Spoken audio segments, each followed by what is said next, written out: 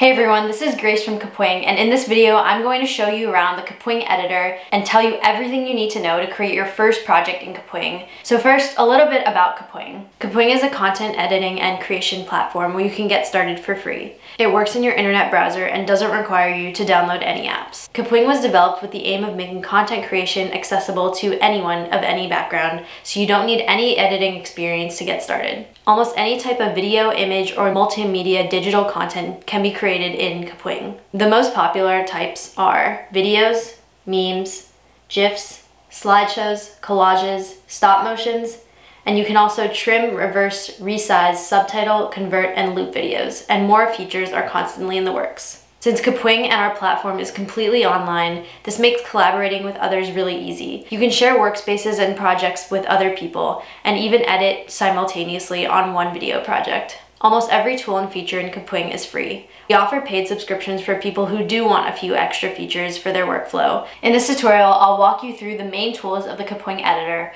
We're going to be making a sample social media post that includes a video, text, subtitles, a progress bar, images all around it. So to start, just click the first link in the description below to get to Kapwing and I'll meet you there. Let's get started. To get started with Kapwing Studio, which is our main editor, go straight to kapwing.com uh, that's a, this is the landing page of our main site.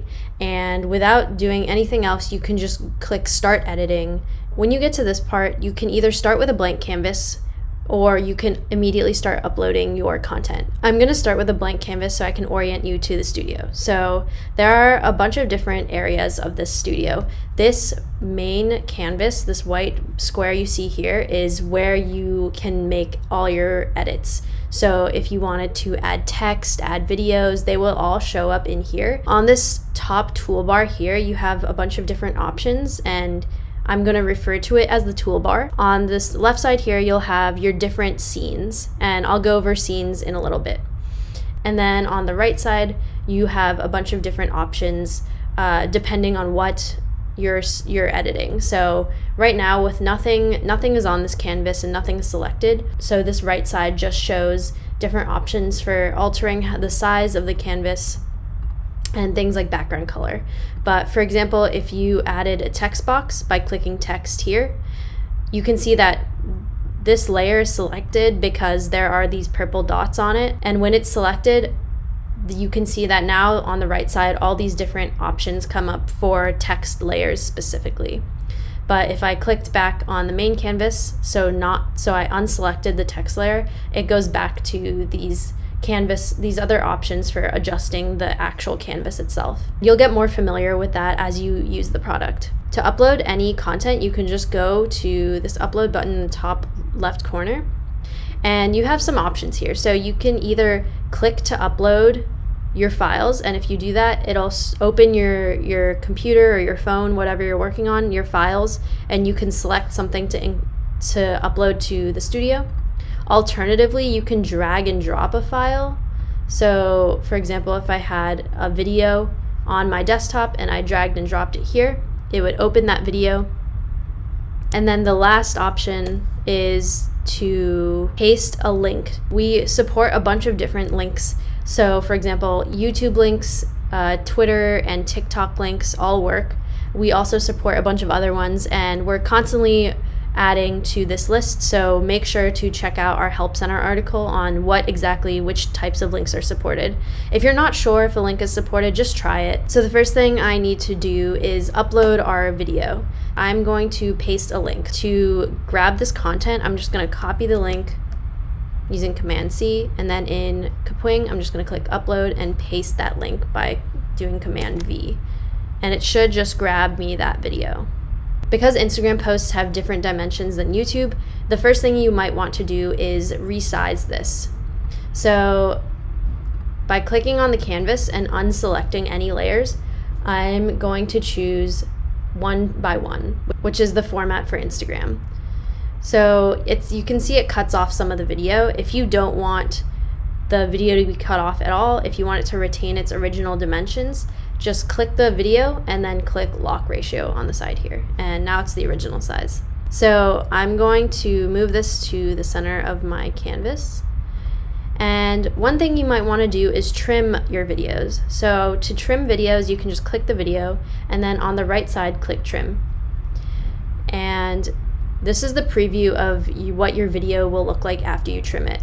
You can use these dots at the end of this purple bar to drag them and adjust when you want the video to start and end. So I'm just gonna cut this down to where I'm talking about how to make jump cuts uh, in the intro. So I think this should be the end of it.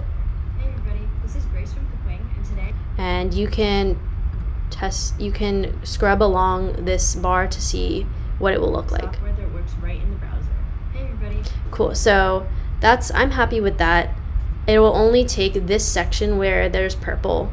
That's the only section that will be saved. And once you're done, you click done. So now my video should be trimmed. It, you can see at the bottom here, it's less than 30 seconds now. So the next thing I want to add is text. To add text, you go to the toolbar and click text. To edit it, you can just go in, click and edit whatever and add what text you want. To adjust how this text looks, you can just go to the right side and you have a ton of options for colors, fonts, sizes, um, and alignment. So, for example, font, we have a bunch of fonts here, and you can always click more fonts, and there's more. Uploading your own fonts, for example, to maintain brand consistency. This is a Kapwing Pro feature, so it's included if you have the subscription. So I'm gonna just use Montserrat and make that bold. I also want to change the background color to something that's not white. To do that, you can just click the canvas and you have a few options here. You can choose one of these colors, or if you have a hex code that you use, for example, for your brand, you can just paste that in. I'm gonna make the outline none and then make the text white. You might want to add images or shapes to your video, and you can do that in the toolbar as well. So there's the images here and then shapes here. So one shape I want to add, we have a progress bar. And if you don't know what this is, it's literally just a bar at the bottom of the screen.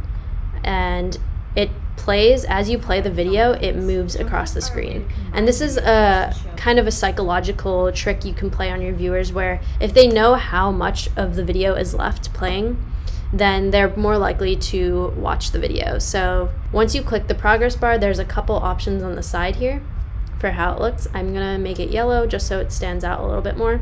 And then in terms of adding images, you can click this images layer and search for any images here and they will source from Google Images. So for example, if I wanted to search film, camera, PNG, all these different options come up. And even if you find an image that has that white background, so for example, this is actually a PNG because there's no background to it. And even if it has a white border or background, we can still erase that in Kapwing. So for example, I'm going to choose this one and again, click lock ratio if you want it to retain its dimensions and resize it. It might take a few seconds for the video, for the image to load, but eventually this erase button will be clickable. So select the image and click erase. And this is where you can erase backgrounds. So we have a video going into this in more depth, so check that out if you're interested in this. But basically to erase more efficiently, you can just click and drag and anything that's select highlighted will be deletable. So once I click delete, that whole background just is deleted.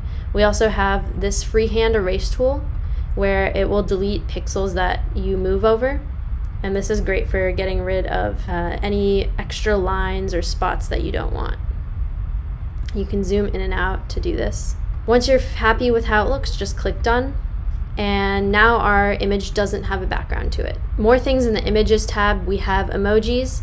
So you can add any emojis you want. And then we also have, you can add GIFs by searching in the image search, just saying like film GIF. Just add GIF to the end of your query and anything that's moving in the results should pop up. So the next thing you might want to add to a video is audio. So there are two types of audio in Kapwing that you can add. So the most basic type, which I'm going over now, is the global audio. So this audio tab in the toolbar, if you click that, it'll take you to this screen where you have a couple options. You can upload an audio file, so examples like MP3s, which are very typical audio file types. You can also record your own audio. So if this is like a voiceover, you can just click record and it'll save whatever you're saying. Uh, and then the last option is again pasting the link to an audio or video clip. So even if this is a video and you just want the audio from it, this feature is able to do that. So for example, I found this no copyright music on YouTube that is free and safe to use um, that I want to use in my project. So I'm just going to copy the link to the video and then go back to Kapwing and paste that video link. And it will just get me the audio. So you can see that it already loaded it. You can trim this audio um, and adjust the volume of the original video track and the audio track. So let's see. everybody, this is Grace from and today I'm going to be talking about jump cuts. You can hear the audio in the background. Video clips to show And it's a little bit loud. You can't really hear what I'm saying, so I'm gonna lower that audio track's volume down. Cool, so I'm happy with that. I'm gonna click done. So this audio will play throughout the whole project. So sometimes people want to add audio to specific parts of the video. And if you do are interested in that, we have another tutorial video that we've made that you can go and watch for more help with that. So now I'm gonna go over how to add subtitles to this video. For a quick intro, basically you just click subtitles in this top bar and you can either add the subtitles manually one by one or you can auto generate them. Auto generating makes the process a lot quicker. Uh, it's not 100% accurate, but it you can go in easily and just edit them after. If your video is in another language besides English, we support that as well. We, we can auto generate subtitles for that language. I'm just gonna click auto generate here. So our auto generated subtitles have loaded. Uh, in this preview, you can see what they will look like, and then each line is one line of subtitles that you can click and change around the text. So, for example, I know in this first line I say, Hi, everybody, this is Grace from Kapwing.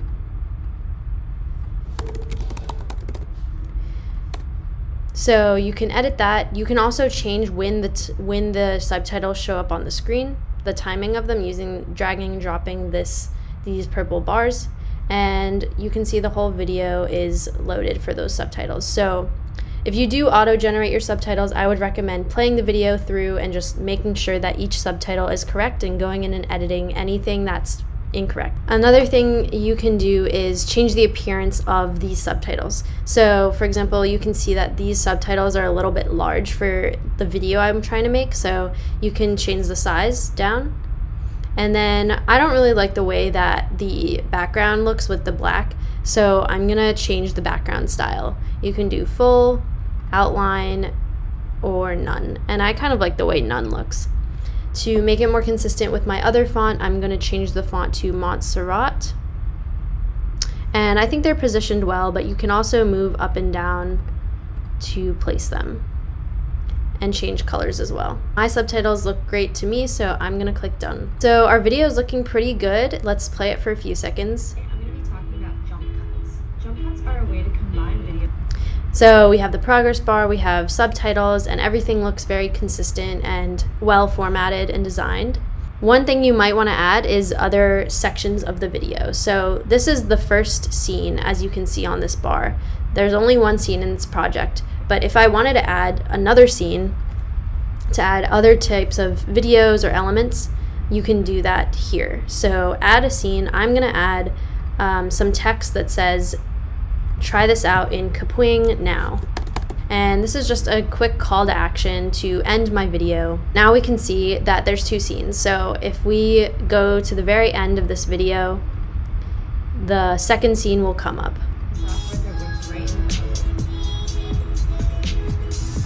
Great, so those are my two different scenes, and you can add as many scenes as you want for the different sections of the video. You can also reorder them by dragging and dropping. So I'm just dragging this second scene, putting it before the first scene, and that reorders the whole video. The last feature I'm going to show in this tutorial is how to use the timelines. The timeline is used to adjust the timing of each of these layers. So, for example, if I wanted this camera to pop into the video, I can do that in the timeline. So we have another tutorial going just diving into the timeline and how it works. So if you want a more in-depth tutorial just on the timeline, go, I would suggest to go check that out. But so each of these layers is represented on the canvas here. So this camera layer, this image is this one, and then the progress bar has its own layer, and jump cuts 101, the text has its own layer. And this timeline basically moves from left to right. So as you play the video, you can see this marker moves across the screen. For example, if I only want this camera image to show up after a few seconds and then disappear towards the end of the video, I can use the ends of the layer and drag and move them to where I want them to start and end. So if I wanted it to appear at three seconds and then leave the screen at 24 seconds, I just moved the layer so it can do that. And if we play it from the start of the video, you can see that the camera popped in. So this is just a nice way to adjust when different features are on the screen at different times. You can also upload files directly to the timeline to the scene. So if I pasted a link or uploaded a video, it would just remain in this one scene. To finish up and be able to download your video, you can click export video, this red button here, and we will start processing the video in the cloud. So our video is done loading and you can see this is the preview of the final product. You might see a small watermark in the corner that says Kapwing, and you can remove that for free by just clicking a button that says sign in to remove watermark. That should be at the top here. To actually download and save your video that you just made, you can just click this download button here and it will save the file to your to your local device. You can always go back in to edit by clicking this or make a copy of it um, or just share it straight to social media with these buttons. Uh, another cool sharing feature is if you copy the link and send it around, people will be taken directly to this page and they can see your content and also edit it themselves. So everything we just did in this video was completely free. As I mentioned before, we do have a pro subscription. So if you're interested in having a few more features, uh, you could check out our pricing page to consider upgrading to Kapwing Pro. Thanks for watching this video. If it was helpful, please give it a like and subscribe to our channel for more Kapwing tutorials and content creation tips and tricks because there's a lot more you can do in our editor. If you have any questions at all or ideas for other tutorials you want to see on this channel, please let us know in the comments and we'll see you in the next video.